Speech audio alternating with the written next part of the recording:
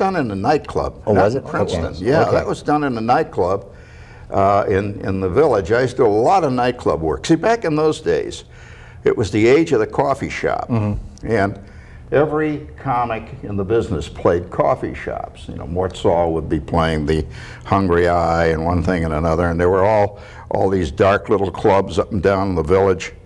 And I played in a club down there for years called the Limelight.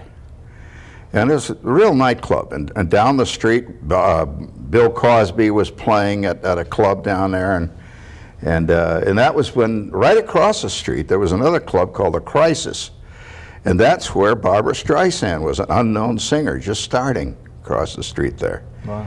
So we used to all sort of hang out around down there. But that, those, that was never recorded in radio Oh, I see. or or my my college stuff. appearance in that crowd you hear is a crowd of, of crazed pot smokers who had come into the limelight. it was right in the middle of the of the hip world. See, and I was I was like the leaders of the hip Of the hip. hip world in those days, and you could hear those.